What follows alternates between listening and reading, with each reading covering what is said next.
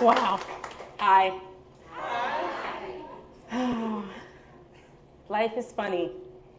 Sometimes it's like, ha ha ha, funny, and sometimes it's like, hmm, that's interesting, kind of funny. And it's funny how we use the word funny to describe both ends of that spectrum. Um, I've always found myself surrounded by people who are funny. Like my five year old, who's hilarious. She is a natural comedian. And I know most people think their kids are like super funny, but this kid makes me laugh every single day. I remember this one time, um, it was Christmas morning. She was probably three or four at this time. And um, she walked casually into our bedroom that morning, and uh, which is funny in itself because there's nothing casual about a four year old on Christmas morning. But she strolled casually in and she goes, Well, Santa left town, come and see. and me and Josh, we're still in bed and we just kind of look at each other and we're like, You mean Santa came and he brought you presents? And now he's gone? She's like, Yeah, he's gone now. He left. Get up, come see. it's so fascinating to me how kids' minds work in that way. They're just so innocent. They're still learning the world. So they're just trying to make the most sense out of whatever information that they get. And the results are always hilarious. Like just last week, um, she started asking me for chicken handles for dinner. Do y'all know what chicken handles are? It's just chicken on the bone, like drumstick chicken, but it's got a handle. I don't know, like chicken handles is hilarious. I'm the kind of person though that thinks most things are hilarious. Um, like I, I, I, usually laugh at everybody's jokes. Um, and it's not because I'm being like, I'm giving you a pity laugh. I can genuinely laugh at most things. I find humor in so much.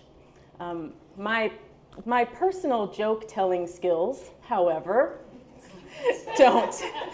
my personal joke telling skills, subpar. Um, I mess up punchlines a lot. I tend to ramble, I talk really fast. I have this really big problem with sequencing. So, like, I'll start telling a story and then I'll do like three tangents in the middle somewhere. And then by the time I get to the end, I realize I forgot like a bunch of stuff in the beginning. So now I have to like circle back and do that. Um, yeah, I'm spacing, sorry. but um, circle back. yeah, circle back. So I went on this journey of like just understanding humor recently, like what's funny and why things are funny. And it's interesting that um, most of the things that, what is it interesting? I went on this journey to figure out what's funny and why things are funny. And it's interesting that humor is so personal to us.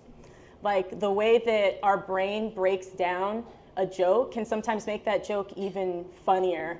Um, like our personal journeys, our experiences, um, the way that our brain works to break down information that we get is very, very unique. And what's funny, like, mm, that's interesting, kind of funny, is that um, we all laugh at the same time to a joke, even though we have these like unique processes that are going on. And it's interesting still that we put so much value on what's funny.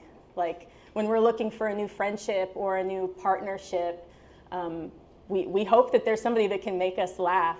And then somewhere in there, that, um, that love of humor, that need to have somebody who's funny turns into like a romantic thing too. And that's what we look for in our partners. My husband, Josh, He's funny, like ha ha ha funny. He's that kind of funny where he's got this like sharp wit, um, like slick comebacks. Like you don't want to get into an insult war with him because his quips will, will sting you. It, will be bad. Um, but he's got this like goofy dad joke thing, but he can also tell these like really smart jokes that make you think, but when they hit you, it's a riot. And the kicker about Josh that I really admire is that he can deliver his jokes with a straight face, deadpan, and he's not breaking until you break. He's got that, that seriousness. I remember this one time really early in our relationship. We were still in this like honeymoon phase where we're like super infatuated with each other. Uh, you can't stop staring at each other. You just think each other's so cute. Um, he was my boyfriend at the time. And uh, we wake up super early in the morning one day. And it wasn't early enough though, because Josh was late. He's late for work. So he's up, I'm in bed, I'm watching him rush around the room. He rushes to the bathroom, he's brushing his teeth, and he rushes back to the dresser, he's getting his clothes, and he's the kind of person that like won't sit down. Like he refuses to sit down while he puts on his socks. So he's just like bouncing around and like knocking stuff over. And I just sigh and I stare at him and I'm like, You're so cute when you're rushing. Oh. and he stops, deadpan, stares me in the face, and he says, I'm American. and he rushes out the door. I laughed when he was like all the way downstairs. I was like, wow. Yeah, that, that I, I truly wish that I had that skill to just be deadpan when I tell my jokes. I'm definitely the kind of person that laughs through most of my jokes. so I really, really admire that. This other time, uh, we were still pretty new in our relationship, and uh, we had just moved into a place together. And uh, it was Christmas. It was like a few days before, before Christmas time. And uh, I was sick.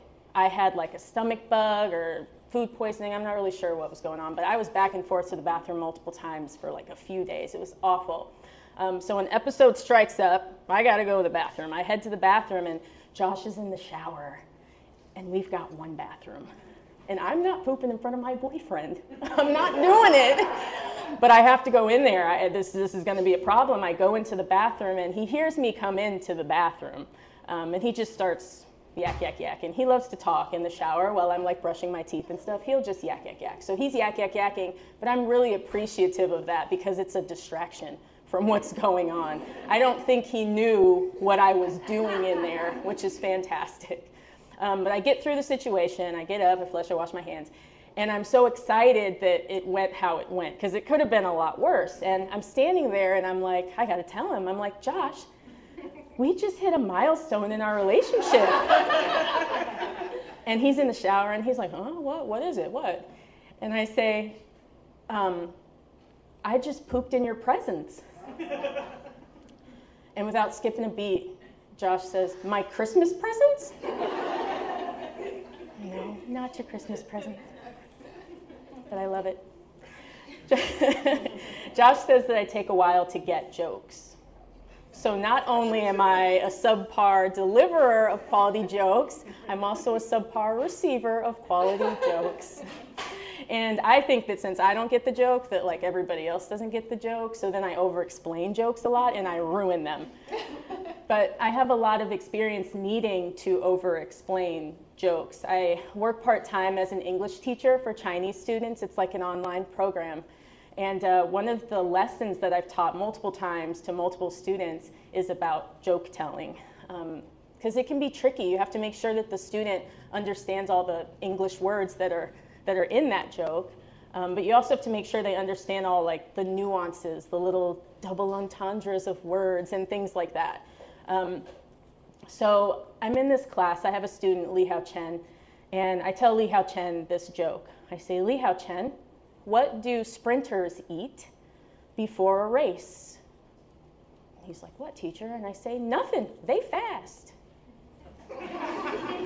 It's corny, but I laughed at it. I'm over here key key keying, and Li Hao Chen is looking at me like I'm nuts.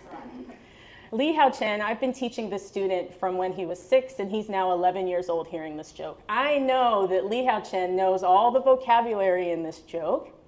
Um, I've taught him from the ABCs up to pronouns and the be verb. Um, and just as a refresher, pronouns and the be verb is like I am, you are, we are, uh, she is, he is, etc. So he's looking at me like I'm nuts. You're welcome. He's looking at me like I'm nuts. And he goes, Teacher, they fast? And I'm like, Yeah, they fast. You know, they fast. They don't eat. They... And he's like, You mean they are fast? And I'm like, oh, yes and no, but yes. I loved explaining that joke though. And I loved explaining all the other jokes that came up in that lesson. Do you want to hear the, the joke that did it for Li Hao Chen though? The one that had him on the floor laughing? I said, Li Hao Chen, I have a dog. and she's a genius. I asked her what zero plus zero equals, and she said nothing. She's a genius. On the floor laughing, this kid. That's the joke that did it for Li Hao Chen. And it's amazing to me that that's the way his brain worked. His experiences, his journey led to that is the joke. And it's fascinating. But so why why am I talking about this? Why am I talking about what's funny, what's not, who's funny? Like so you can tell a joke. So what? Right? Well, laughing and making other people laugh makes us feel good. Right? Like there's a release of endorphins and neurotransmitters do their thing. And if you can induce feelings of pleasure in somebody else through laughter, they tend to like you more. And so naturally, I want to be that. Like, I want to um, be social with people. And uh, when you laugh with other people, you break down barriers and you build stronger relationships. And it's deeper than that. Like, if you have a good sense of humor, it's a direct reflection of how, how you can move through life, how you can find joy in the ups and downs in life and bounce back, and um, how you can navigate the complexities of the human experience with like grace and levity. Which sounds really good to me. It makes perfect sense, but it also troubled me because I was like, but I'm not good at that. I'm not good at jokes. I'm not good in social situations. In fact, I'm very nervous and uncomfortable in social situations. I'm not great at speaking to people, so what does this mean for me? And so, going on this deep dive into thinking about what's funny and what's not funny, I uncovered some pretty gnarly truths about myself. Like that my subpar joke telling was in direct correlation to my social anxieties, which was stirring up some some pretty terrible fears of public speaking. Yikes. And how long has that been going on? For a long time, probably. I remember lots of presentations where I freaked out in high school, you know?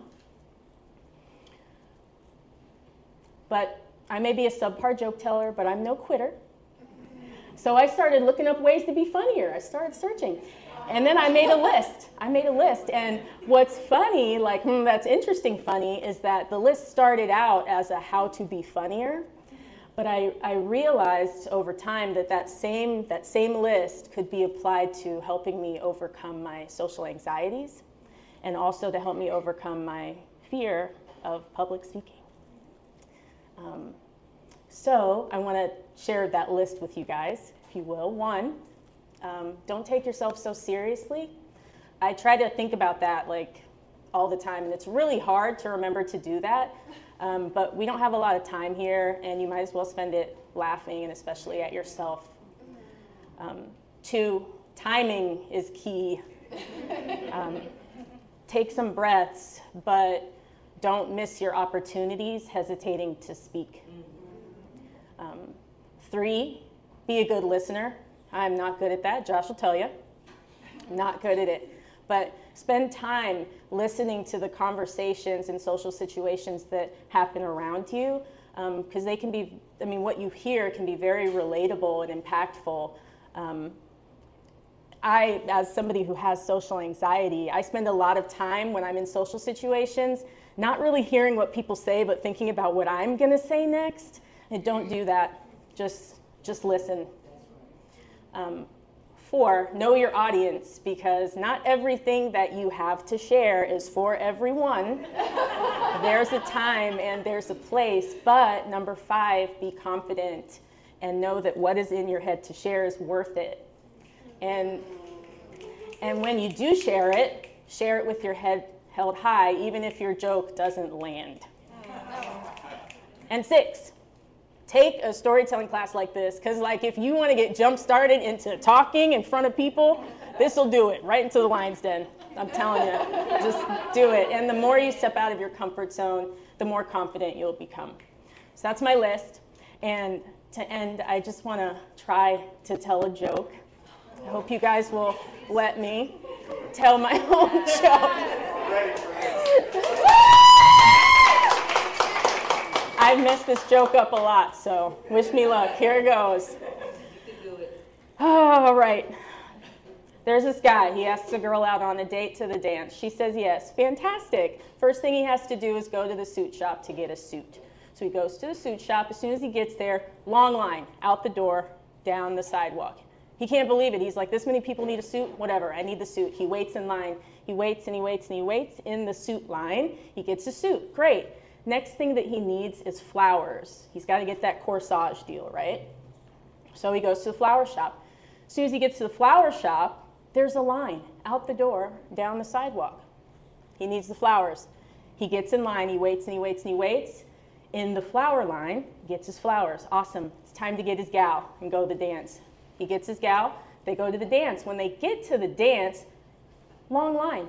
Out the door, down the steps, down the block. What is going on? They have to get in this dance though, so they wait.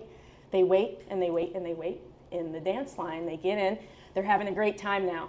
They're dancing together. He offers his date a drink. She's like, Yeah, I'd like some punch. He goes to the drink table. When he gets to the drink table, can you believe it? There's no punchline.